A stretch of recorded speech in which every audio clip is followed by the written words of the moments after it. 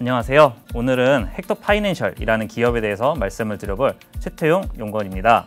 어, 제가 제목을 커팅전 bulk up이라고 지었는데요. 어, 그 이유는 최근에 헥토파이낸셜이 외형 성장을 크게 보이고 있습니다. 어, 다만 이제 커팅을 한다는 의미는 어, 수익성 제고를 의미를 하는데 어, 헥토파이낸셜이 bulk up을 하는 과정에서 어, 수익성 제고를 할 필요가 있어서 어, 커팅 전 bulk up이라는 제목을 짓고 어, 말씀을 드리고자 합니다. 네, 그러면 어, 헥터 파이낸셜이라는 기업이 어떤 서비스를 하는 기업이냐 말씀을 드리자면 어, 우선 어, 결제 사업부가 주를 이루고 있습니다. 어, 세부적으로 가상계좌, 간편 현금 결제, PG 사업을 하고 있는데요. 어, 헥토 파이낸셜은 2000년부터 가상계좌 서비스를 시작으로 어, 간편 현금 결제와 신용카드 PG 그리고 최근에는 어, 휴대폰 소액 결제까지 확장을 한 전자금융 사업자입니다.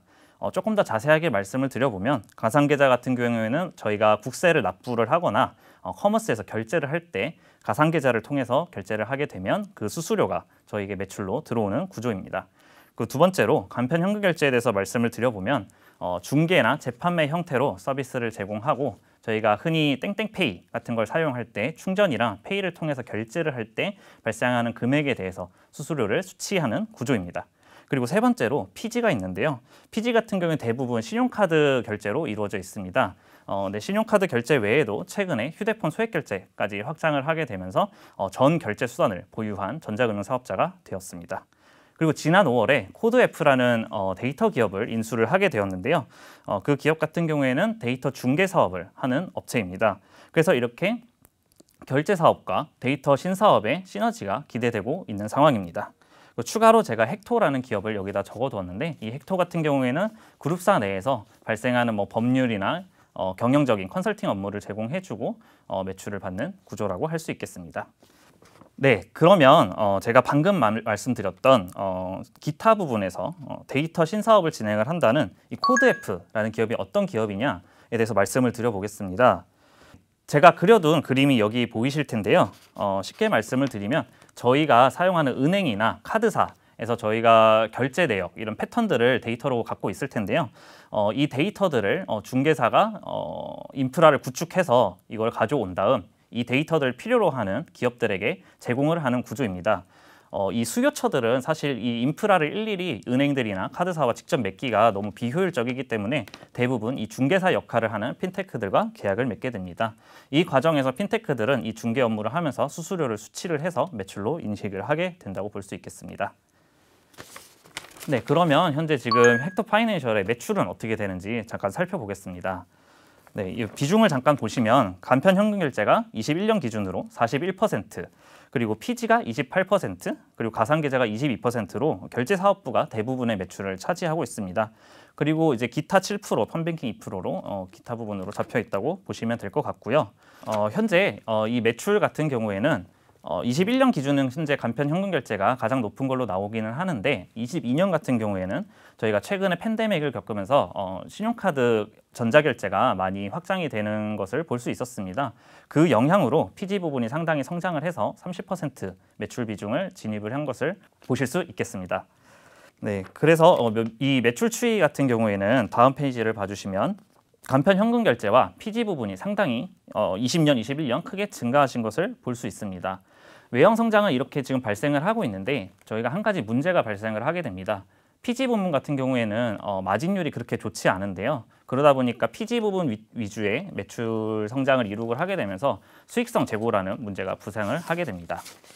그래서 이제 이 GPM 추이를 잠깐 봐주시면은 어, 가상계좌, 가상계좌 같은 경우에는 어, 한 63%에서 69% 내의 밴드에서 왔다 갔다 하지만 어, 맨 오른쪽에 PG 같은 경우에는 어, 22년 이전까지 크게 하락을 했던 모습을 보실 수 있고 어, 또한 어, 그 절대적인 수치 자체도 10%대로 굉장히 낮은 것을 보실 수 있겠습니다. 네, 그래서 헥토 파이낸셜은 어, 이 수익성 제고를 위해서 어, 새로 시작한 사업이 있는데요. 어, 그게 바로 어, 휴대폰 소액결제 사업입니다. 왼쪽에 전체 GPM을 보시면 어, PG 사업이 확장을 하게 되면서 전체적인 GPM이 하락하는 모습을 보실 수 있겠습니다. 그래서 그 대안으로 오른쪽에 보시면 휴대폰 관련 사업을 시작을 했는데요. 어, 특히 휴대폰 컨텐츠 부분에서의 수수료율이 굉장히 높은 것을 알 수 있습니다. 신용카드 결제 같은 경우에는 수수료율이 한 2% 전후로 나오는 반면 휴대폰 어, 소액 결제 같은 경우는 7% 정도의 수수료율을 받고 있고 마진율 자체도 정확한 수치는 사실 알려져 있지 않지만 어, PG 부분 통틀어서 어, 가장 높은 축으로 알려져 있습니다.